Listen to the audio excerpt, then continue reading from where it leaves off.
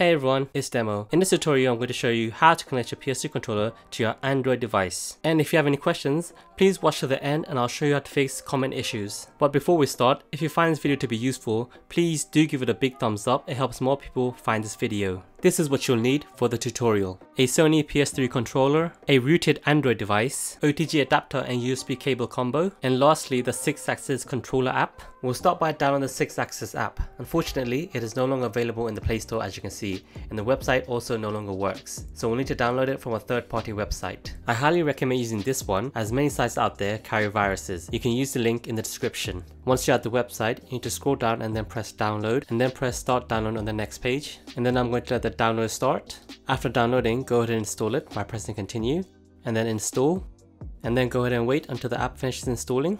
Once that's done, go ahead and press open, which will give you this screen.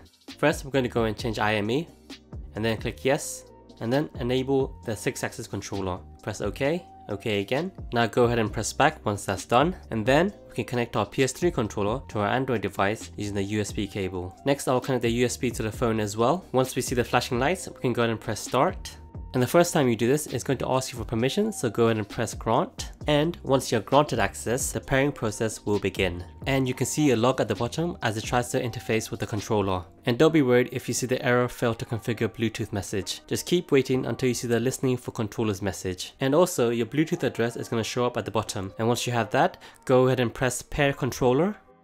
Click on pair and then check the checkbox and then press OK. And if you've done all that correctly, you should get this master address updated message. And at this point, go ahead and disconnect your USB cable from your controller. Once that's done, now go ahead and press the PlayStation button. The lights will blink for a while until eventually it should switch to a single solid light. This will confirm that your PS3 controller is now connected to your Android device. Likewise, you can see the client one connected message on your phone too. And now I'll show you how to disconnect and turn off the Sixaxis controller app. Because when you swipe away the app, you can see that it's still running when you pull down the taskbar.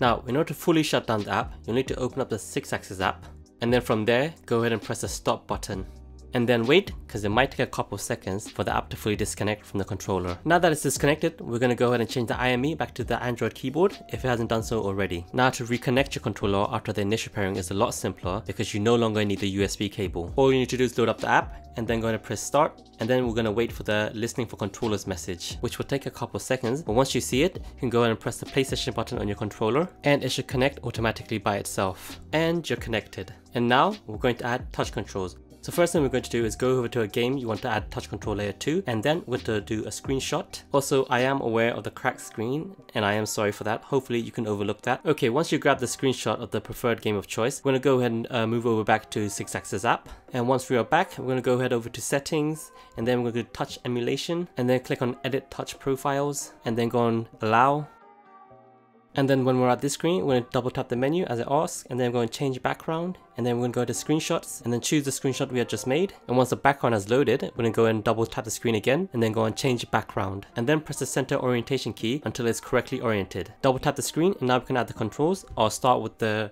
analog controls with the left, and then we're going to drag it to the left side so we can control the game and then we can enlarge it by using the outer circles we'll add more controls this time I'll add the right analog control and then I'm going to drop it onto the right part of the screen and then I'm going to extend it by dragging out the outer circles okay? And this will control our view or our point of view. And I'm going to make sure it's just right like so. Now I'm going to add the next controls. Press add button and then we're going to go ahead and press the let me see which key I'm going to use. I'm going to cross and add it to the bottom for the special trigger. And then we're going to add another buttons and we're going to scroll down and this time I'm going to choose the square for the reload button and then place it right over the reload key on the screen. And now I'm going to add one more button. Go ahead add button and I'm going to scroll to see, this time I'm going to use triangle. And this will be for the, um, the zoom or aim and I'm going to place that right at the corner, right corner. And now looking at the controls, I think I'm happy with it. So I'm going to double click it and then I'm going to save profile as, and then you can choose any name here for your profile. I'm just going to choose something random. And once you've chosen the name, go ahead and press done and then press save. And once the profile is saved, we can go ahead and exit the settings, go ahead and press OK and then back back again. And now we can select our profile. And you can see the one we have just created. Go ahead and select it. Now let's go over to our chosen game. And thanks to our touch control we just created we can now manipulate the game using our controller but using the touchscreen controls. Let's let that play so we can see how that goes. The buttons that we mapped, as you can see, are fully working now. Triangle, zoom in, X to reload, I mean triangle to load, and press X to turn the special power on, as you can see. And go and just enjoy. Now I'll go over some common issues and how to fix them. One is the incompatibility with their controller. This could be due to using generic or third-party controllers. So for best results, always use official Sony controllers. The second issue is your device not being rooted. The Sixaxis app cannot work without a rooted device. My device as you can see is rooted with Magisk. So if your device isn't already rooted, you can use that method. And there are plenty of tutorials on YouTube to help you.